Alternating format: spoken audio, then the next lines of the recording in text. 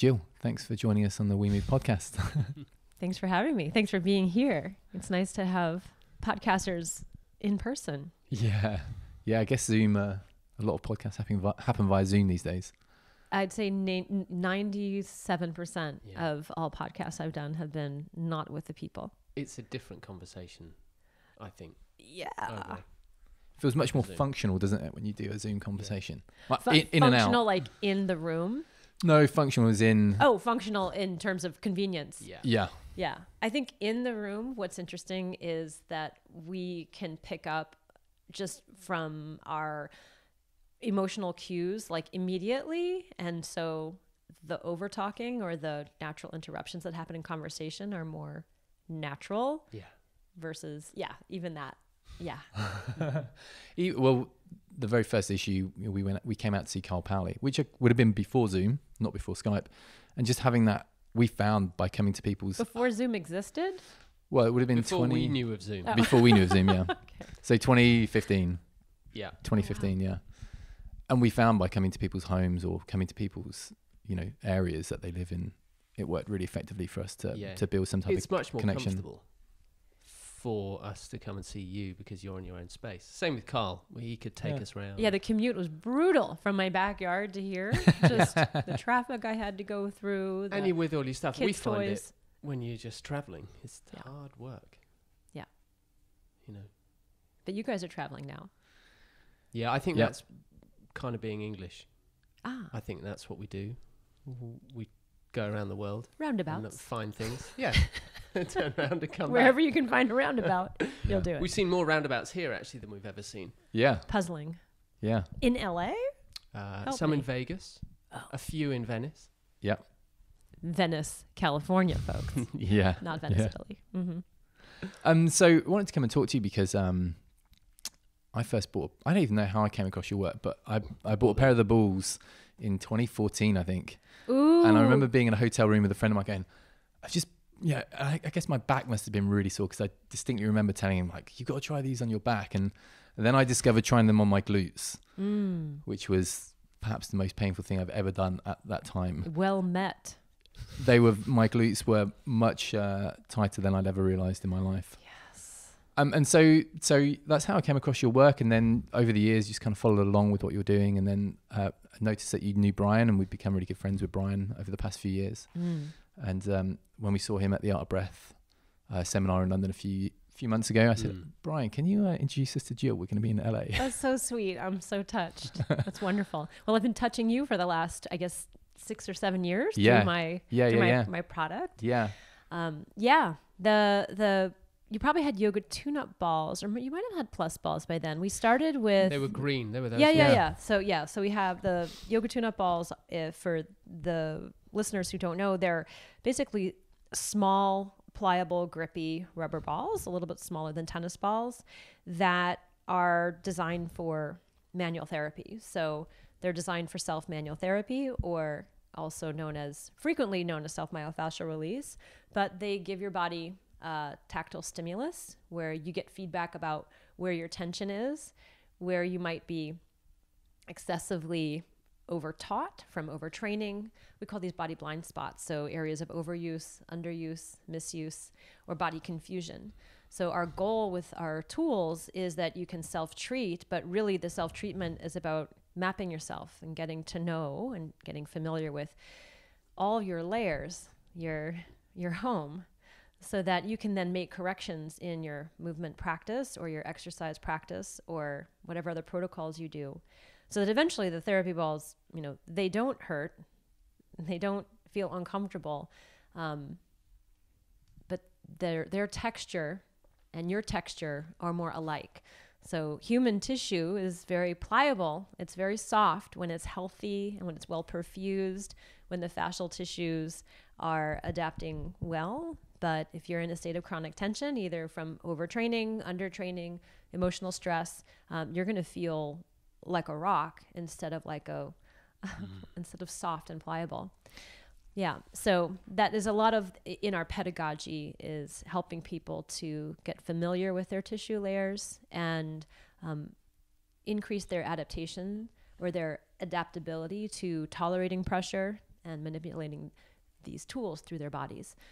So you met the smallest balls, and then we have other sizes too.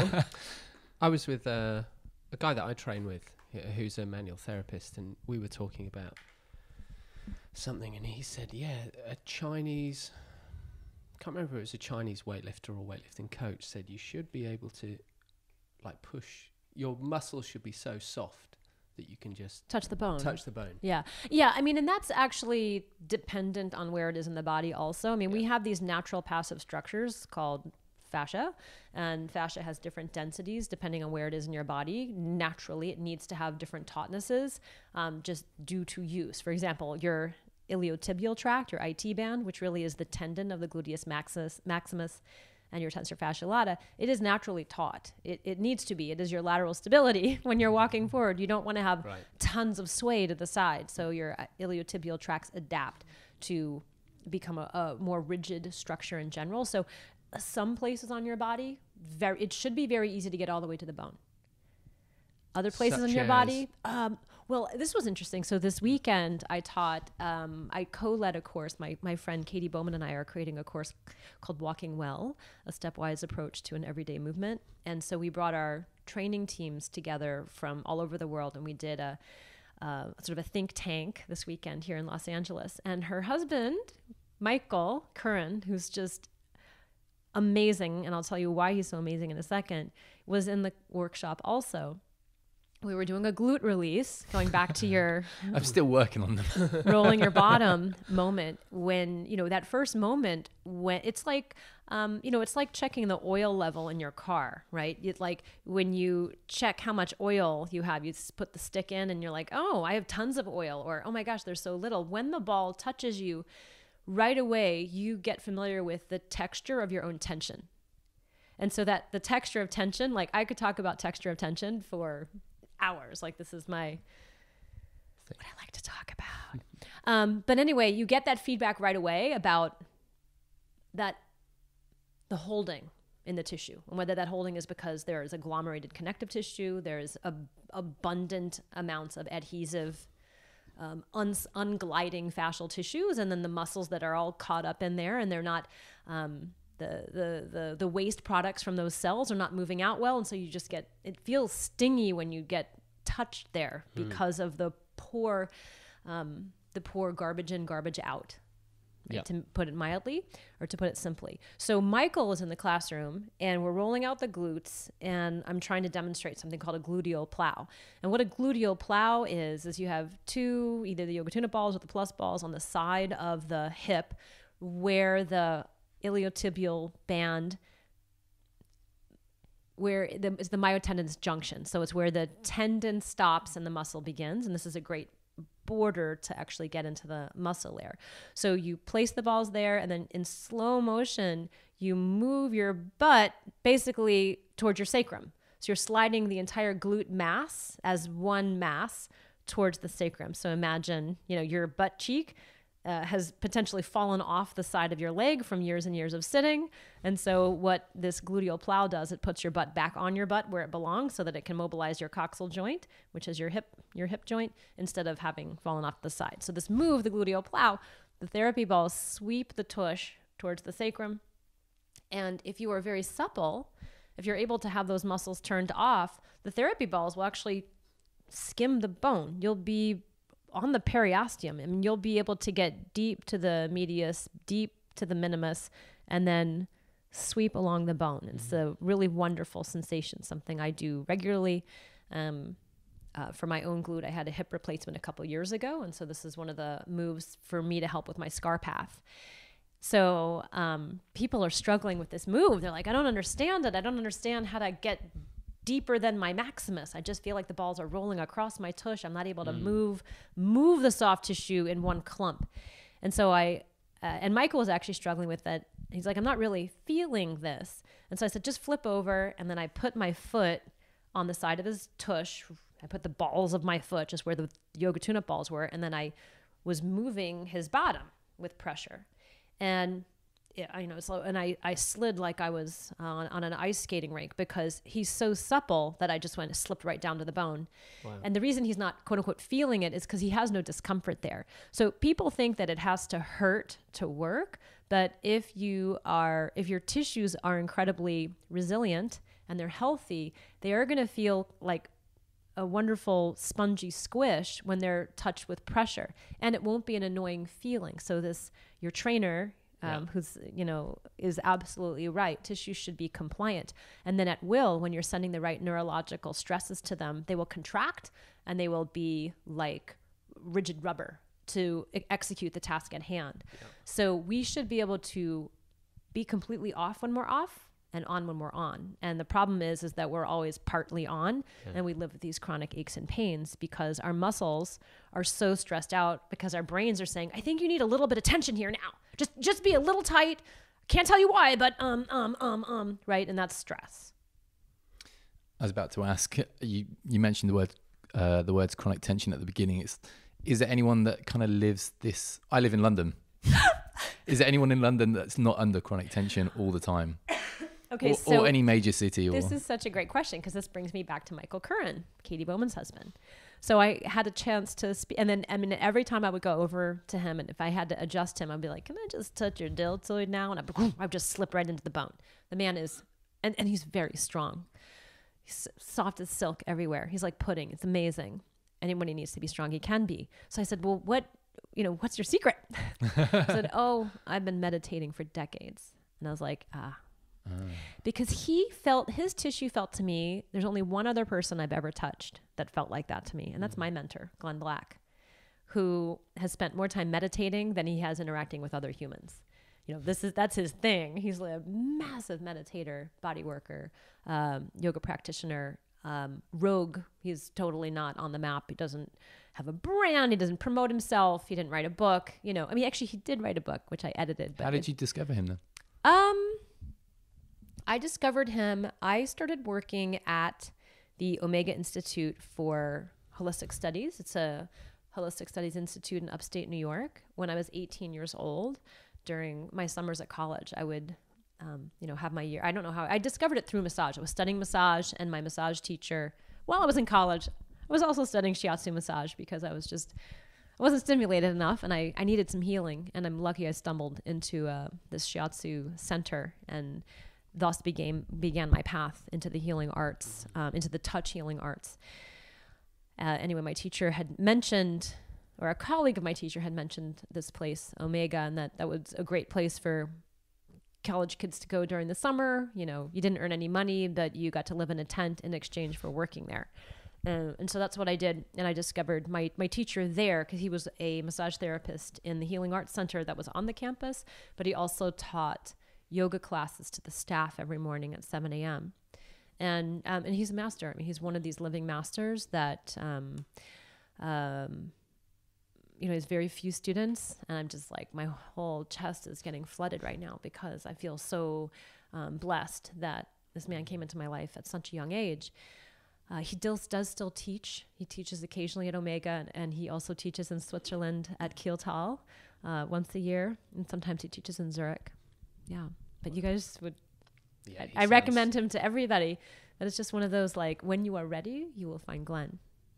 Yeah. Sorry, I interrupted you. You, would, you yeah, would- we were talking about Michael. Yes, But the yes. point is that Glenn's tissue is so incredibly supple from his meditation practice, also his self care practice, which is a lot of self massage, and then the yoga that he does, um, or what he calls human movement.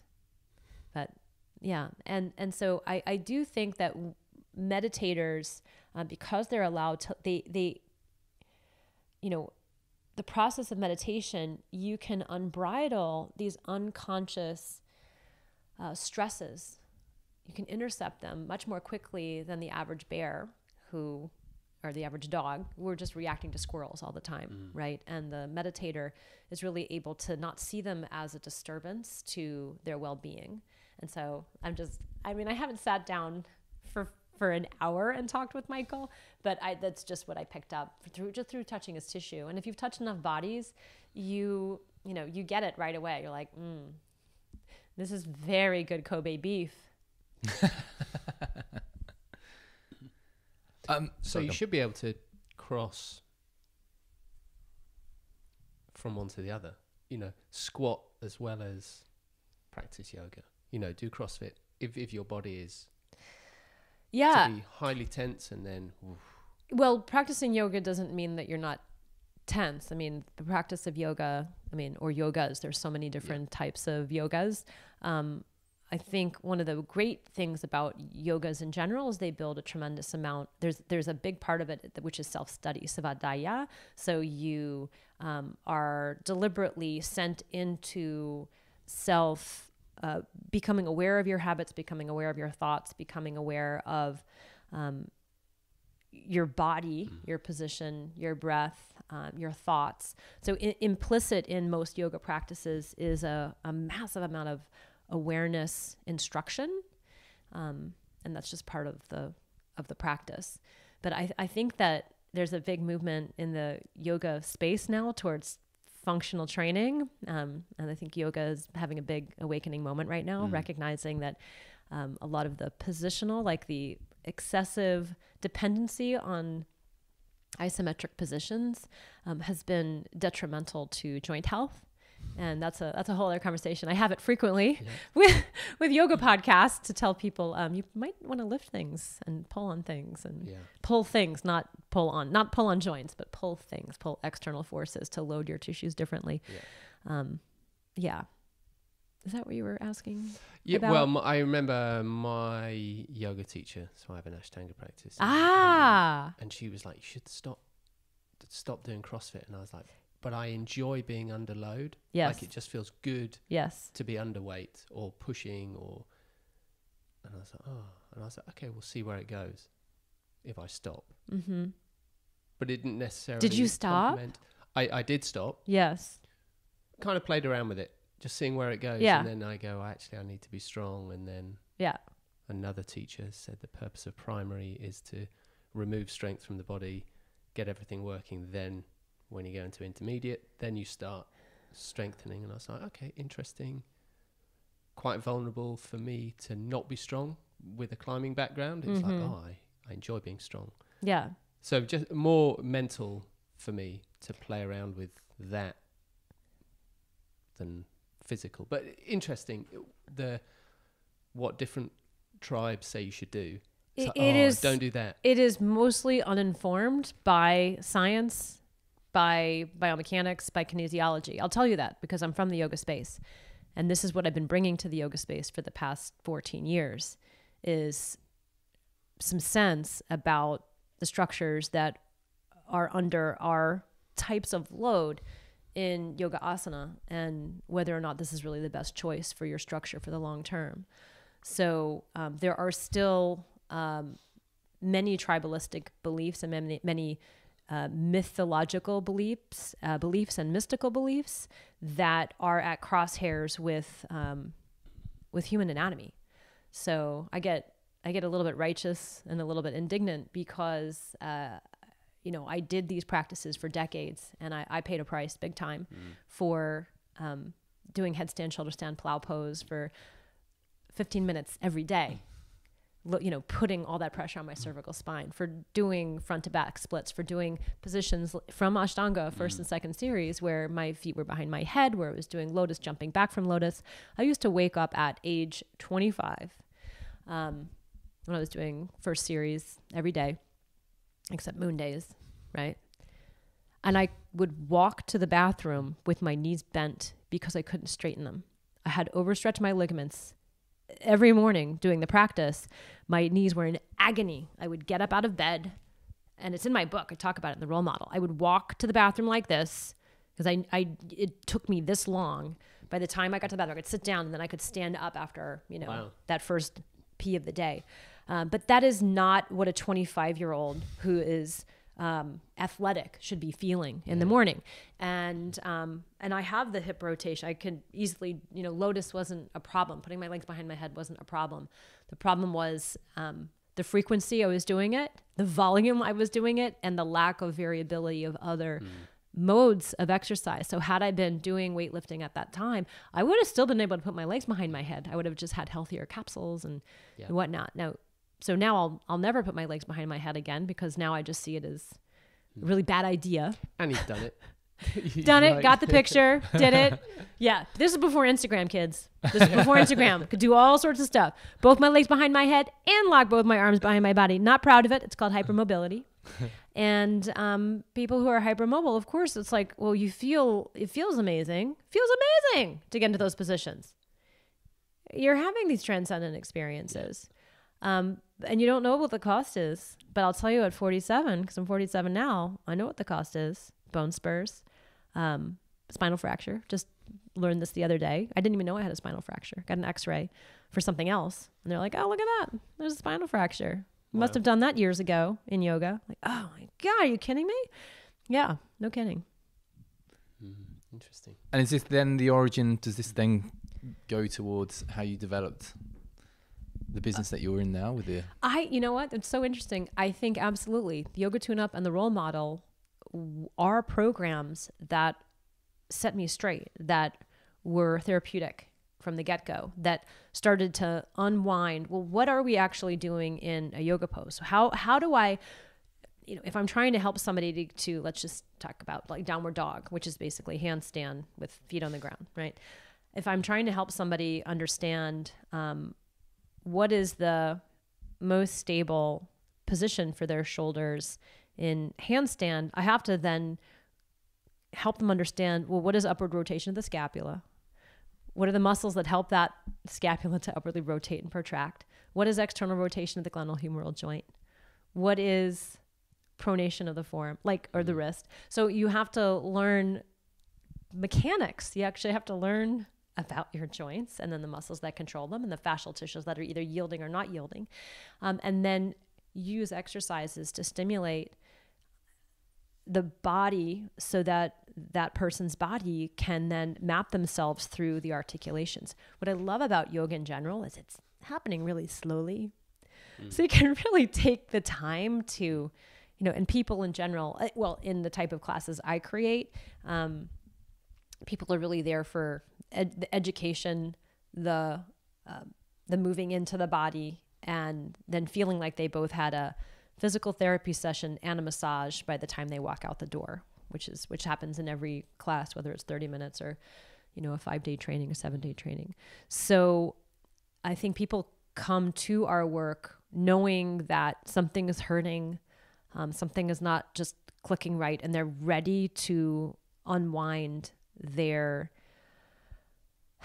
They're ready to um, unroll their old assumptions about their body and movement. And and I'm still learning every day from what I teach. I mean, I'm always humbled by my students and their what they bring and then using this model that I've created with them to help them clue in to their own body sense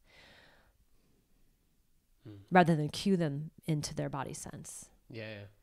Well, that's the that's the empowering side of Mm. a good teacher. It's almost you teach someone to feel for themselves. To find their way. Yeah. Yeah. And in is the that dark. linked with emotions? Mm. And like it's uh, like uh, you said, it's um, you it shows people kind of how to think, ch- uh, challenge their assumptions, Yeah. which are layered. Yeah, I, and it's hard, especially for teachers who've been in the game for um, decades. I mean, we'll have people who are they have a robust community. They're in books. They have books, um, and they come in because they're they're very broken at this point by yoga, most usually, and um,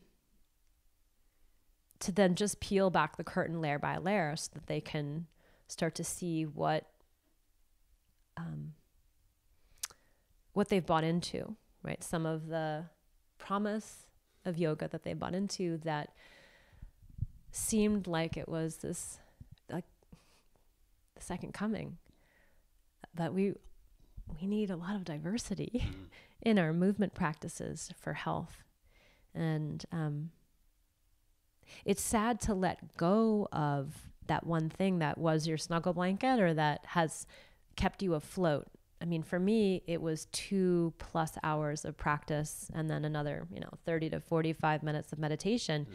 I needed that much to regulate me. That's a lot, right? Three hours a day out of your life away from other people. And what I really needed to do was get my shit straight with other people.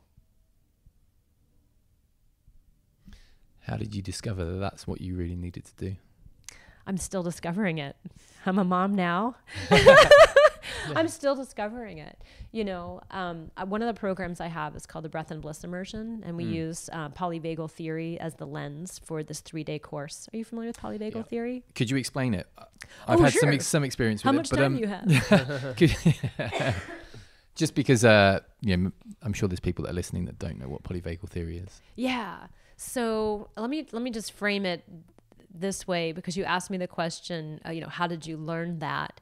Um, how did you learn that you needed to communicate or that other people were the answer? I mean, the answer was, well, why was I spending so much time isolating myself? And then the, the practice let me keep isolating because there is a lot of virtue in being that sort of stoic yogi in the literature. And um, but I was I was suffering. But the the more I practiced, the more I, it would would stifle not stifle it would sublimate my suffering and give me this temporary release. So you know, and I had bad relationships and boyfriend after boyfriend. It was like nothing was nothing was lasting. So that's one of the ways that I that I learned that. Um, so in the so uh, about five years ago, I taught the first breath and bliss immersion um, here in Los Angeles. And one of my students, one of our teachers at the time, his name is Dr. Chris Walling. He is a somatic psychotherapist, and he's actually now the head of an organization called the United States Association of Body Psychotherapy. And you all have a, a like community in England or in Europe, and I think they're based in England. And I, maybe it's the European uh, Body Psychotherapy Organization. But anyway, these are the psychotherapists who believe that touch is an important part of of psycho of healing of their psychotherapeutic healing. And touch therapy was um, completely expunged from psychotherapy around you know Reich was jailed and that was the end of him right? But he was onto something that you know our body our, our psychology is our body's physiology. Yeah. speaking to us very loudly, right? And so now getting back to polyvagal theory. So what polyvagal theory, oh my God, we're going to jump all over the place to try to explain this. So uh, after Chris took my course, he took me out for coffee and he said, I need to tell you about Dr. Stephen Porges. You need to know about this because you're teaching his work, but you don't even know you're teaching it. And then he explained um, Porges' polyvagal theory to me and told me to start reading his his literature. So Dr. Porges is a uh, researcher.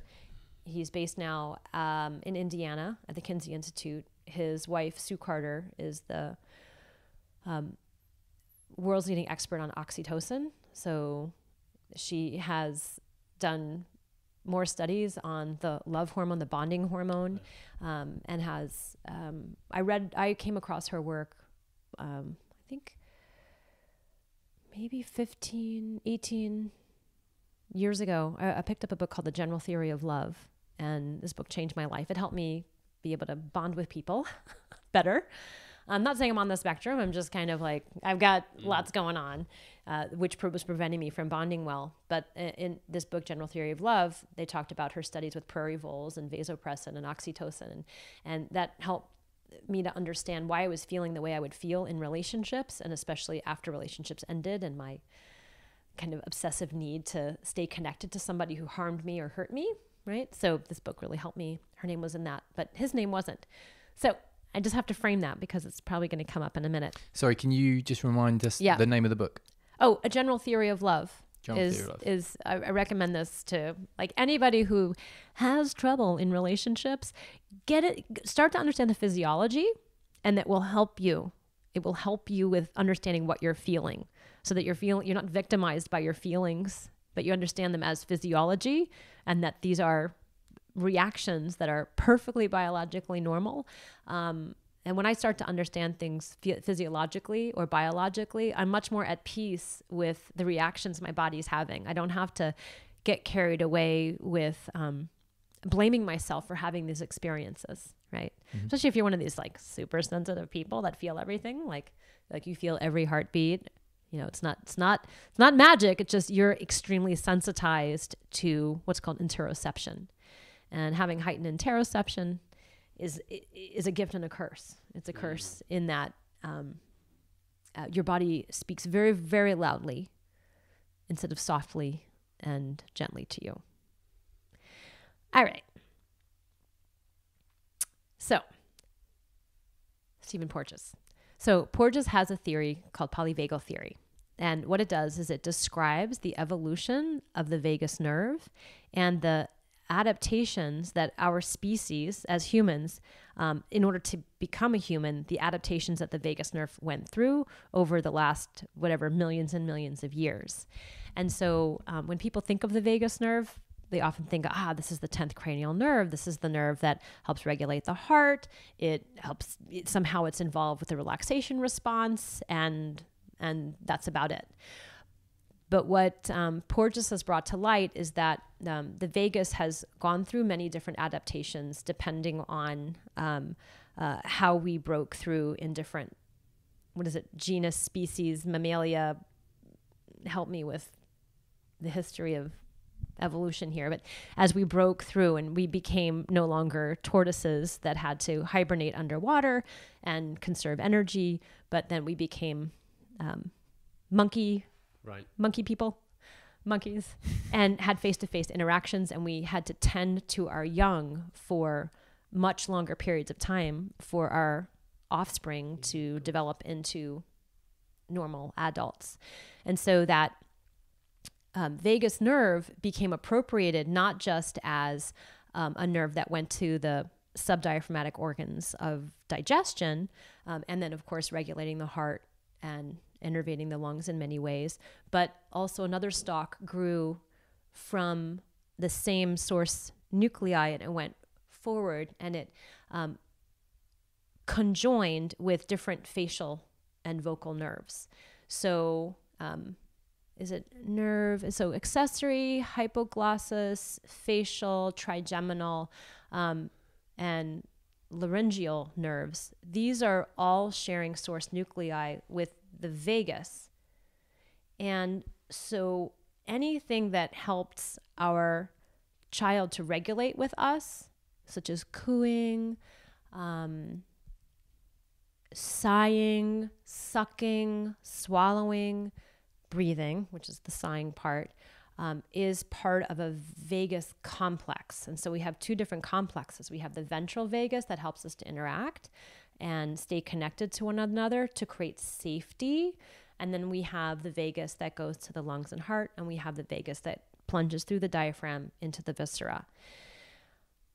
Um, but when we're in extreme life threat, the vagus that goes to our organs and into our heart is hyper aroused. And when the vagus is hyper aroused, you will pass out, you will faint. So we're familiar with fight or flight and freeze. And our freeze state is when we are stimulated in a way where uh, we are paralyzed by fear. And the paralysis by fear, the thing that controls that is the vagus. So it's not just like the peace and love nerve, it's also the don't feel pain upon being eaten by the lion nerve. Right? So the reason that we pass out is the same reason um, why a reptile can, you know, lose its bowels, go underwater, and be there for hours and hours without oxygen. It lowers its metabolic demand. So we have that same part of us as mammals, but when we recover, we don't recover like we don't recover like a lizard. We recover our adaptation response to the trauma is going to be different based on our entire developmental history. So if you were, if you had life threat as a child later in life, you are more likely to have a certain uh, number of different pathologies that are related to having the developmental wound at that age versus having a life threat maybe at 28 years old for the first time. Does that make sense? So, what he's able to show through polyvagal theory is how our adaptation, how our responses are, they're totally biologically embedded in us. Um, but then our survival strategies, um, like how we cope, um, is going to differ just based on our environmental surroundings, our how we were parented, or how we've learned to uh, use our ventral vagal system, which is what I'm looking at you with right now, with eye contact, with um, occasional smiles, back and forth, trying to see if you're listening and we're mm-hmm. communicating on a level. Like, are we able to actually engage with another? So the ultimate sort of um, meme that Porges use is polyvagal theory. Really, our, our biological imperative is to be safe in the arms of another. That co-regulation is how we survive. Uh, how we survive as a species. So we have this ventral vagal system of face-to-face communication, vocal prosody, the tone of voice, um, and um, shared experience. When that's online, then the the the stuff that's going to shut down your organs is not going to shut down your organs. Like this co-regulation keeps us going. It keeps social uh, social contact going. It keeps culture going forward. Right now, m- many of us, myself included, in the U.S., because I'm a, I'm a certain political belief system, I'm in a very heightened sympathetic state. I'm in a state of agitation and fear um, on a daily basis when I open up the news because I'm I have a completely different perspective than what our leadership is saying. And so anxiety is extremely high right now.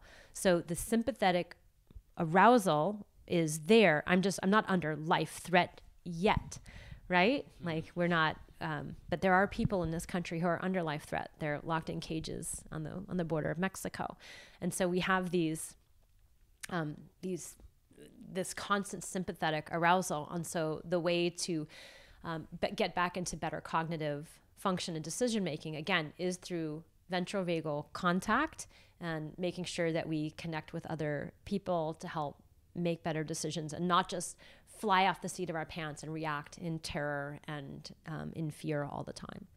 So I, am kind of going meandering all over, but there's three. There's basically three zones in polyvagal theory. We have this ventral vagal. We have a sympathetic zone, which is animation. It's it's the doing. It's um, um, sympathetic arousal, but sympathetic can also mean play. Sympathetic can also mean physical activity, physical exercise. And then there's the dorsal vagal, which is that shutdown place. So the simplest way to learn this is in an embodied way. I have a challenge time just talking it out loud.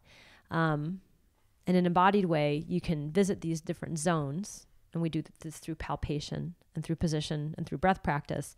And, and I help people to really understand and embed what each of these zones mean the mm. subdiaphragmatic, the supradiaphragmatic, and then the supraclavicular, which is ventral vagal is the supraclavicular, supradiaphragmatic is the lung heart region, and then the subdiaphragmatic is those visceral organs. Um, and we typically use something like the Coregeous ball that you've met before to induce pressures um, and get people familiar with uh, their biology, the physiology, and then the sort of the neuroanatomy and how the vagus innervates each of these areas and what and it these means. Coregeous. Yeah, Coregeous ball. They're a, they're like a mini micro Swiss ball. That's how I describe it to someone. Yeah, it's a very gushy, pliable ball that has a lot of grip. And so this grip uh, sticks to the skin and it creates uh, pressure and tissue shear. So it excites the skin, excites the sensory neurons in the skin and in the fatty layer underneath the skin, the superficial fascia.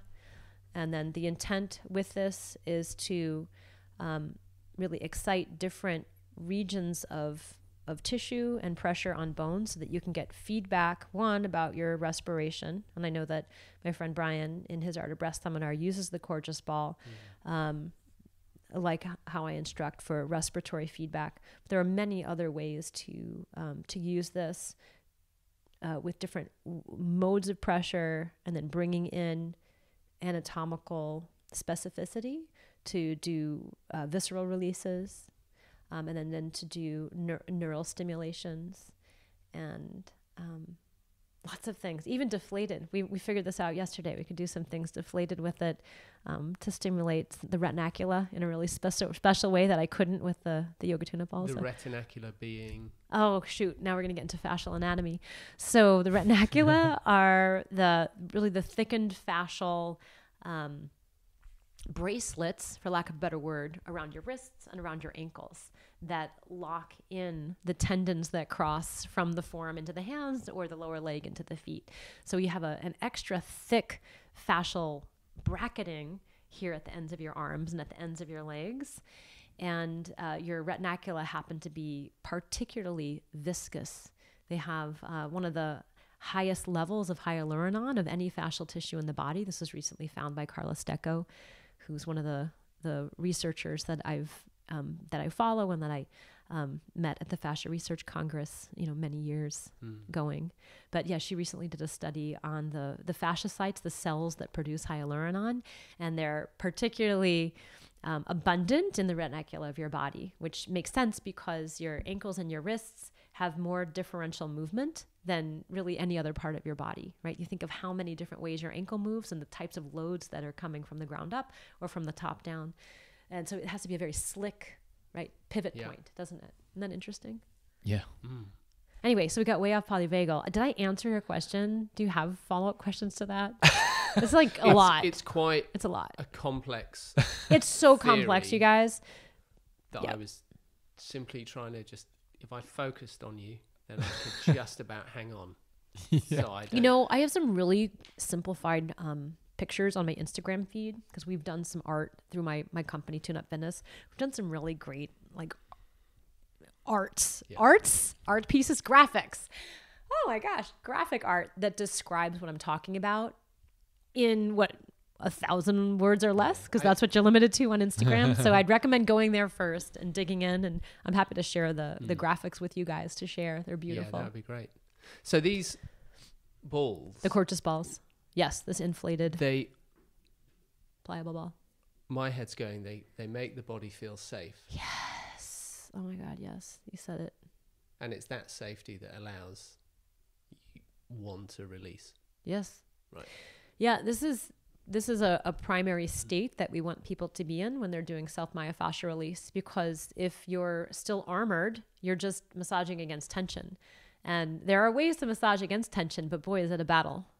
So um, we want to try to um, get into a parasympathetic state as rapidly and um, safely as possible. But sometimes going quickly into a parasympathetic state, you feel tremendous uh, vulnerability and fear. And there's actually people that have a phenomenon called relaxation induced anxiety. It- sometimes you'll see people on a massage table or even in Shavasana, and they'll get into a certain depth. Well, no, the cry is that's good. The cry is good. It's when the eyes pop open and they start, the eyes start going left, right, left, right, left, right. Like they're, they feel like they might be um, attacked, yeah. right? Or uh, all of a sudden their sympathetic nervous system says you're not safe here, and then they just get zings of nerve rushes down the body. So that is that is an adaptation of the body to this feeling of going into what we would call in yoga tune-up a safe dorsal shutdown. So sh- both shavasana and the therapy balls take you into a safe shutdown place, right? If we're going back to polyvagal theory, we go into this place of like you go into the cave and the cave is very dark inside mm. of yourself because when you start to slow down so much then you start to feel what you've been running from in your sympathetic zone It's amazing how many people don't in in yoga. Their shavasana is maybe a minute. that's not then they go- shavasana Yeah. Yeah That's lying down, getting up again. yeah it takes minutes I It takes- was it takes- 15 minutes for every. What was it? Five minutes for every 15 minutes of practice.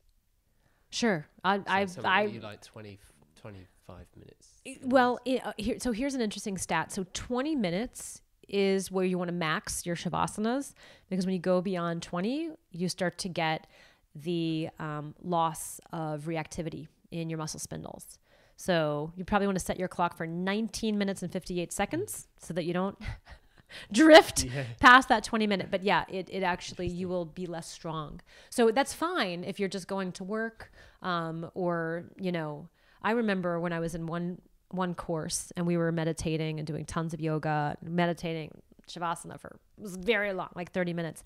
And I was a waitress at the time. And I used to be what they call the profesora de comida. Like I was so on it. I was I would get the most tips. Like I was just like their prize waitress.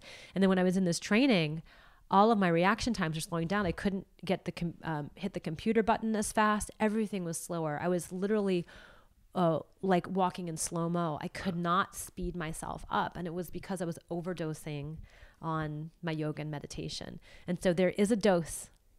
Interesting. Yeah. And so 20 minutes is what they say is the maximum time for being able to have, you know, have your react- reactivity back. Um, you know the zombies. You've been on retreat, right? You turn into a zombie. It's kind of fun, Mm. but it's not very functional for the rest of the people in the world who Yeah. are moving really fast. So, but you can also move fast and be still moving slow inside your mind. You can play ninja tricks. That's what's so cool about yoga practices and meditation practices. You start to have like so many insights and so many little ways that you can um, still be in your practice, but be be in the world. Mm. This is going back to that isolationist thing. Yeah. Very Mm. much like need to be in the world, not away from it anymore. Yeah. So if the if these balls uh, allow the body to feel safe, Yeah. and thus allow the tissue to release, Yeah. that makes me think of um, the different options. Oh shit! That's okay. There's Just different water. options to these to these balls. For example, like the guns or the, as in the the guns that kind of hit hit Yeah. the muscles. Yeah. Or I have another device that we picked up in whilst bouldering in in France, like a a very like a solid hard- plastic Yeah. object that you would really grind down Yeah. against the muscles. But actually, what that is doing is just tensing the muscle and making it harder to release. Well, I uh, okay. So England, Taylor and Francis Publishing Company. Possibly. Yeah. So Sounds English. I've just finished writing a chapter for a British publishing company called Taylor and Francis. They're a medical textbook company, or at least this book is a medical textbook for this publishing company.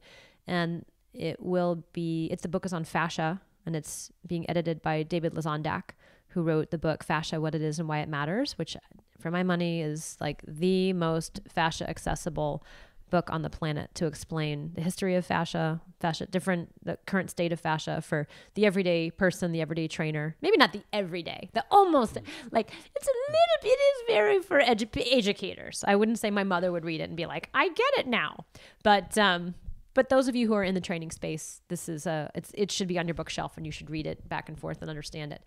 Um, but the medical textbook is uh, so David has been solicited by Taylor and Francis to put together a similar book, but for clinicians, for the medical professionals or future medical professionals. And he reached out to me to write the chapter on self myofascial release.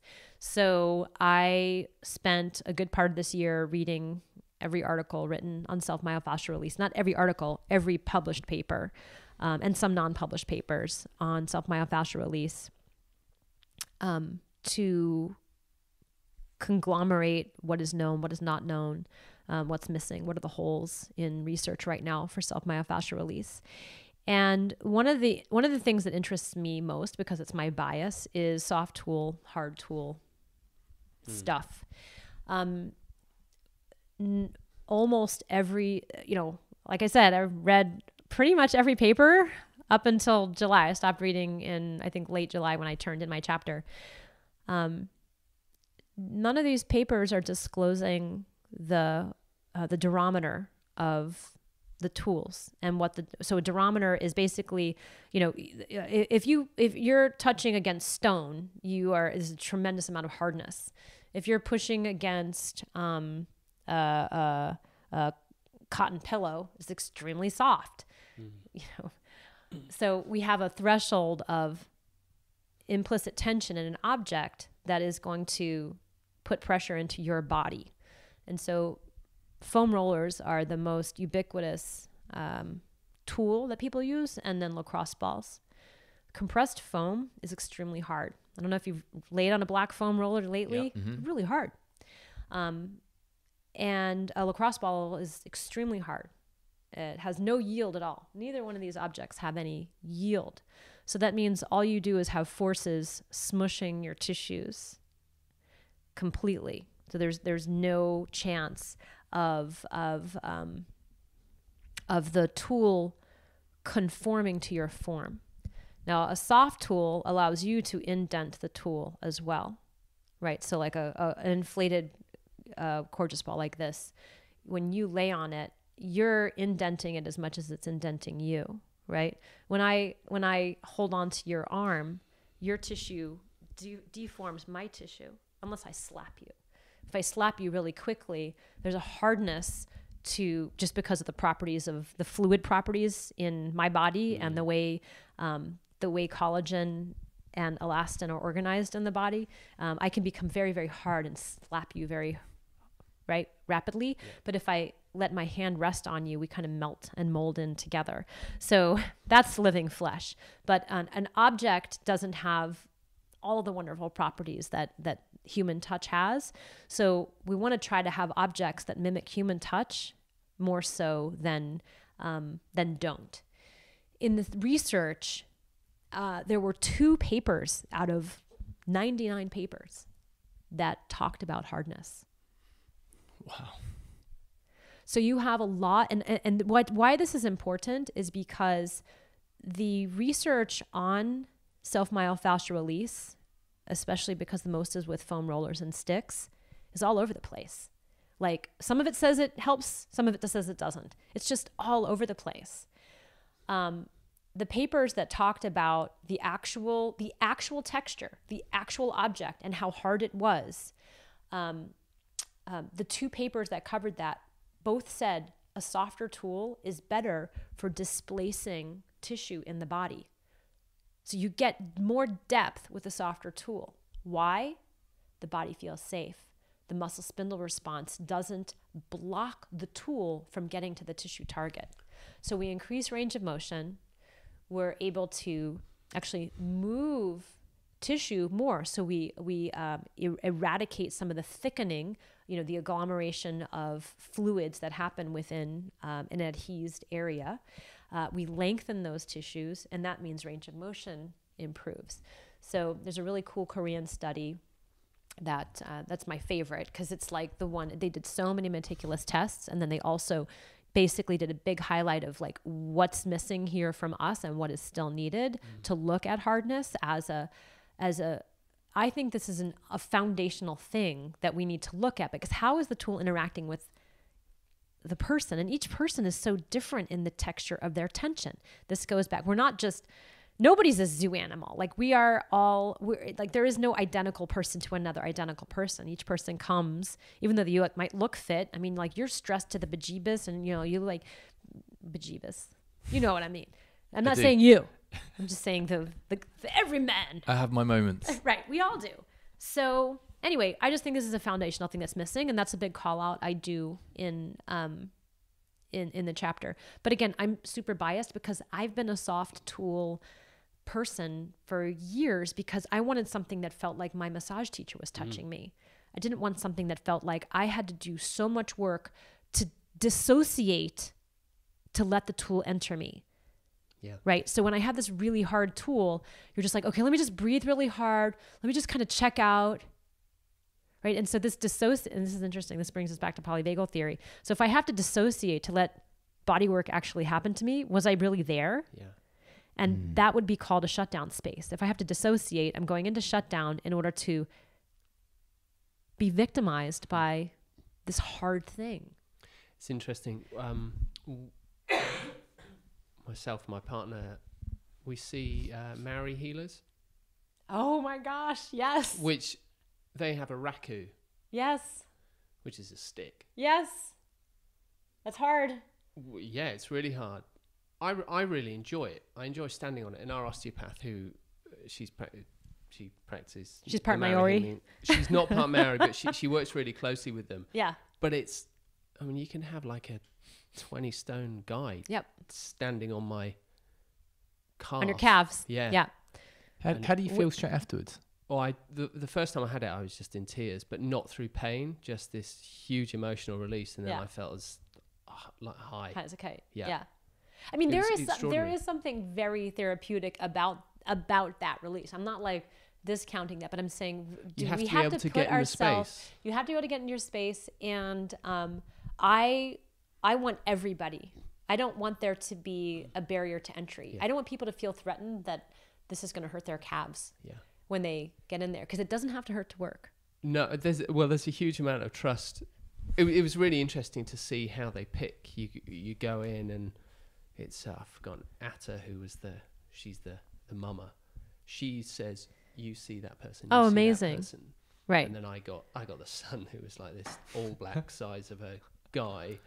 I was like, oh, okay, it's gonna be like this. And then I've had other, you know, j- just depending on Yeah. they pick it depending on s- Yeah. what they're feeling. And some So, people yeah. really were like, you know, well, you can hear them. It's an it's an open. it's an open- yeah, know, it's a group. It's it's Yeah. a group. They're moving around. and That's interesting. So that's a whole want to be ventral vagal thing. Like there's a there's a there's a, a social pressure also in that setting to comply to the um, massage or Mm. to you know sort of to be able to take it in a way. Um, it's, yeah, so many interesting dynamics you're talking about there. You could see the people that just didn't want to be touched. Yeah. but but they were there, and then I guess that begs a or poses a question. It's like kind of why are you here, or just being here might be enough Mm. to sit and have a cup of tea. Yeah. As with you don't need to do that. Yeah. it's almost too. Yeah. They're like, no, I want to have the. The the experience. experience. Yeah. But if you check out, then it's Are you really having you're it? just giving someone. Your power. Yeah. Yeah. So it's really interesting. I mean, but I, my thing is, I want people to do it themselves. And so I don't have to worry about a Maori, but it's like, I'm not going to tell my mother to roll a lacrosse ball on her foot. She will damage her foot. It's so fragile. Hmm. I mean, a foot is robust, but my mom's had, you know, a number of surgeries on her feet. So her bones aren't in that great of shape. Yeah. And, um, and I want everybody to be able to feel empowered to self treat themselves. And so it would not be responsible for me because, uh, you know, I can, I can, I can walk on rocks and I can use a marble on my, I don't, I mean, I, you know, it's like I could, but, but for, you know what I'm saying? Self empowerment's the goal. Isn't self empowerment's the goal and self knowledge is the goal. So also feeling yourself, um, being able to be with yourself as you transform your relationship to discomfort or felt sense or bringing sense, being able to to feel something in your body. I mean, the people that work with me privately or in my group classes, often like they are just not seen, felt, or heard in other in other situations. I mean, most people, I know their medical records inside and out. And they're like, oh, so this time I went to the neurologist and he did all these tests. There's nothing wrong with any of my nerves. And, but like, this is always hurting me all the time. The only thing that gets me out of pain is your class.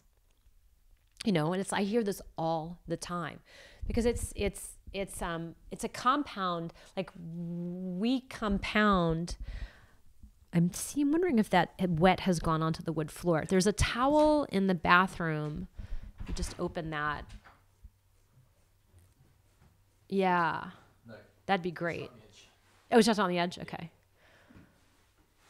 So the the compounding effects of breath, position, safety, uh, awareness, and knowing that you're in a space where if anything feels unsafe and I, and I don't Eh, that word can get overused. So if anything feel let's just say it for now that if anything feels unsafe we have lots of ways of modifying or transforming so that you're still going to find the same target that everybody else is.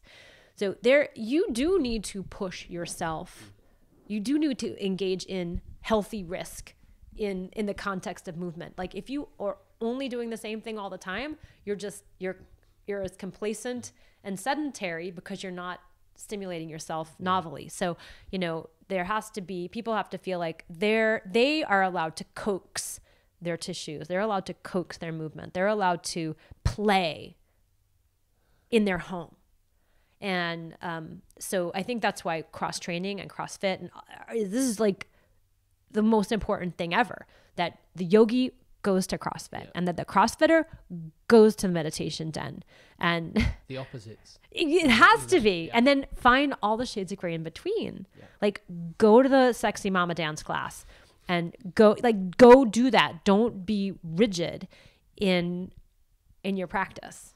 Whatever your practice is. Hopefully you have one. People listening to this do. But i like i also i really like to find the people that don't have a practice and that are uh, scared of their bodies and they're afraid of being in there they're afraid of discovering things i love meeting those people yeah It's quite hard to think about being scared of one's body. most Like, people are Yeah, I mean, we've just always been. you guys are athletes Uh, uh, w- Yeah. Well, thank you. um, you should see these guys studs um, that's what. That's why we don't really film it. so it's the illusion. Um, Well, well, I would suggest that you know we we're now four years into this process of being with WeMove, and we're sitting here having these conversations, and and still like trying to understand everything that's going on in these conversations. You know, we we spent serious time. You'll never understand everything I said today. I don't even know if I understand everything I said today. Right, but you know, we're coming across these ideas four years into the journey. Yeah. Uh, four years intentionally into a journey about learning about the body and the tools, etc. You know, how many people actually spend that amount of time, you know, going through that journey? I, I noticed that you have the AIM wedges, and we, Oh we yeah, Gary. yeah, we know Gary, and we, we I do too. I love Gary. we podcasted with him a few months ago, and, and I've been seeing one of his um, one of his teachers for Yes. the past year or so, yes. and actually, I've had to see him for a year to unravel everything that's going on, Yes. and it taking time to unravel. And, and I've recommended other people go and see him. Yes. uh, this guy called Dom. And I get emails back from them within like a month of seeing him, saying, "Well, you know, kind of, you know, should I continue to see him?" Nothing's. It's like you don't. This doesn't happen overnight. No, this is a process, and if you understand, if you understand fascia, it takes two years for your fascial, your entire fascial body to remodel. Like you have cell turnover. We, we have cell turnover. Every, every cell in your body turns over. But if you want to literally sh- have a new skin, a new fascial skin, it takes two years for that cycle to complete itself. Right. And so, what do you start with Gary, you know, I started doing Gary's work probably like four years ago, five years ago. One, one of our teachers has trained with him, and that's how I got introduced to his work. And then I finally got to go work with him. Um, oh, we actually were co teaching at a conference together in Australia, April of last year, and then this year I got to go up to Santa Cruz and spend three days with him in uh, this past April, and it's like, um, first of all, he's a genius, like no problem saying Gary Ward's a genius, and and Gary's still working out his methodology so that everybody can understand it. Um, it's absolutely beautiful methodology, and not methodology. Um, it's just an under. It's just helping people be able to be in their bones, and that's kind of a bizarre thing because we anyway. But it will take time, significant amount of time, but you're worth it. You want a long life. Yeah. And not everything moves at rapid speed. Like you can see muscles build really quickly. The the the subtle changes in your fascial system. This is this is this is the sloth approach Mm. to fitness. The sloth is no less fit than the than the tiger. So we have to have an appreciation of those sloth elements in our body. And I don't mean you're a sloth, you're like lazy on the couch. You've seen sloths move. Mm. How gorgeously graceful they are. I dare you to move as slow as a sloth. Yeah, it's strong. Right. We uh, we we see an Ashtangi actually, and we both went to her workshop, and she got us. Ash, the practice was taking three hours plus. She was getting us Mhm. to move that slowly, Mm. and it was like, Start getting hungry. well, yeah. well, you see a lot of things going that slowly, Yeah. and feel a lot of things. She was very anatomical. Yeah, I can appreciate Yeah. that for sure. I think maybe it goes back to the original, uh, right at the beginning where we were talking about chronic, chronic tension, Yeah. and everything's certainly in this consumerist society that that I live in in London and or in LA or Yeah. New York. Everything's rushed. Everything's really quick. Yeah. Gary's program of uh, you know self awareness program. How many people take or you know Really slow. yeah how valuable it is to spend 15 or 20 minutes just feeling your body in the morning and then well, maybe that's a meditation practice Absolutely. you know maybe that's a, a It- slow yoga practice It is a meditation practice. but we we we're under chronic tension because everything's rushed Yes. everything's stressed there's Yes. emails to answer life to live kids to take to school etc etc we we're not really in a in an environment that's conducive to self-care To press pause. yeah Yeah. So so then going back to what we were just saying, it's taken us four years to kind of get to a stage where it's like, okay, you know, two years ago I brought a really tough plastic tool in just outside of Paris to Yeah. you know really get into my into my legs Yeah. or, or wherever else it was that was that was painful. And it's taken me that process of going through that and still being in pain to be like searching around for the other answers. Maybe I need less. Maybe I need to do less to get Mm. more out of my body. Yeah. Yeah. Um it's it is a different it's a different rail all on the same train. And if you've never gone onto that rail and you you know every, you're trying to put out you keep trying to put out the fires on the rail that you're on um it's not like oh well i need to do less reps it's no i, I need to completely regress and get to my skeleton and feel the things that are really pulling my skeleton this way or that because how your body is there is how your body Mm. is doing your RDLs, you know. I mean, it's just it's just the way it is. And even just trying to reposition yourself while you're doing your RDLs isn't necessarily changing the foundational stuff. Yeah, I love I love his approach. I feel it's I feel like he is a, a like a Feldenkrais. He really Mm. is onto something. I just hope to see his work continue to uh, improve its footprint worldwide. I love it. Yeah. Absolutely. We're trying we're trying to help him. Yeah. Um So I'm, and um, my head's going. You're not saying that a hard tool is better or worse. yes, I am. Uh, you are, or is it the approach? I, to what I would say is soft enough. I um I I'd say that there uh, for there will definitely be people who have adapted up that a hard tool does not create muscle bracing in their body. Um so but I think that is a very small percentage of just Yeah. like just like the percentage of people who are truly hypermobile is a very small percentage, right? The percentage of people that truly are able to let go of any type of neurological tension um, and so that their tissue is totally compliant the soft tool will work for them also but for them a hard tool does not present threat so i do think that there are some people who can tolerate a hard tool but but um, so these are better suited to everyone. Oh, rather abs- the these this is an every person thing, but we have Olympic athletes and we have NFL, NHL, NBA, MLB. We have every single every single major league professional athletic organization. Some team is using our tools. Um, the year that the Cavaliers won, oh, you guys don't know, you're in England. Anyway, that was a big deal. Um, one of our, our, our Cavaliers were different. Oh, sure. um, Cleveland Cavaliers um, was a really big deal when they won um, the. Oh shoot! What's the name of the big basketball game here we play? What is it? It's the one, the the, the Super Bowl of basketball. I can't believe I can't remember the name. Anyway, they won, and um, the year that they won, uh, one of our teachers up in Cleveland was was their mobility person. Now, they were hiring her, and she was using our tools. Uh, we weren't sponsoring them. We didn't pay two million dollars, so we can't like we don't have pictures of them using our tools because if you have pictures of guys using your tools on the sidelines, that company has sent them the tools and paid two million dollars to have the tools. So you'll see beautiful shiny tools. Like these are cheap.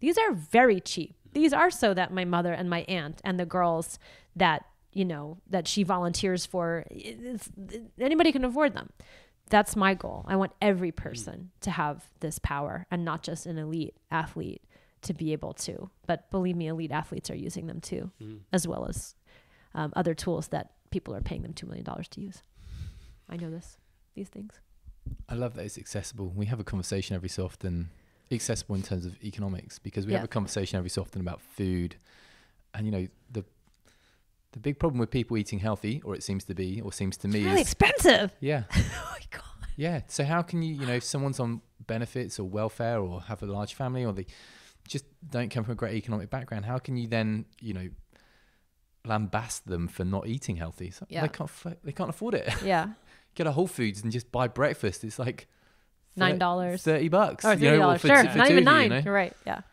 Nine gets you a drink. that's what gets you a, doesn't doesn't even get you a smoothie gets you the water yeah. right So having tools that are yeah th- that people can access to make a huge difference to their life is Yeah. No, my dad's a doctor. He prescribes medicines. Medicines are very expensive. even with insurance, they're very Mm. expensive. These are rubber drugs.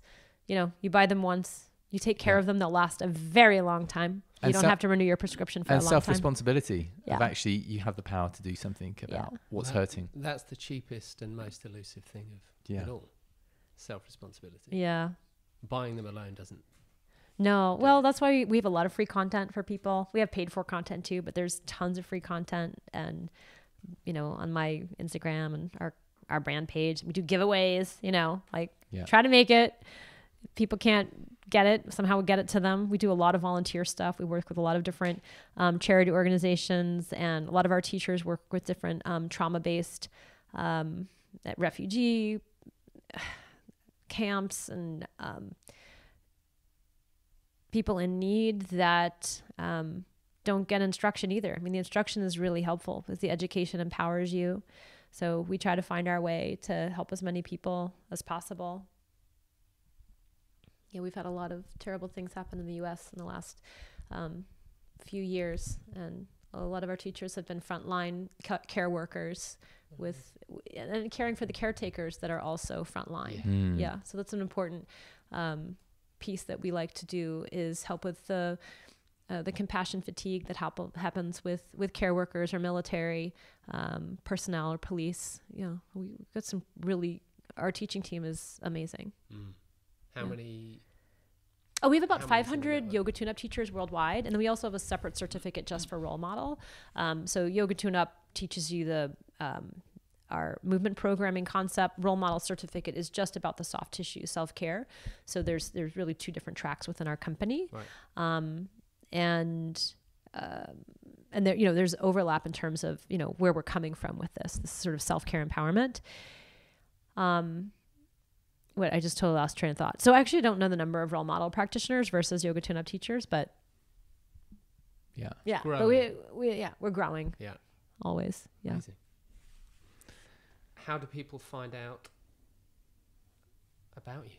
Well, that's easy because you're going to have a link somewhere where here, right? Yeah. Or there's magazine or just um, tuneupfitness.com is the website, tuneupfitness.com. And on Facebook, Tune Up Fitness or Jill Miller. I have an author page on Facebook, uh, but mostly I'm really personally very busy on Instagram. Yeah. And my, Mm. my current handle is at Yoga Tune Up, all one word. And then the brand page is at Tune Up Fitness.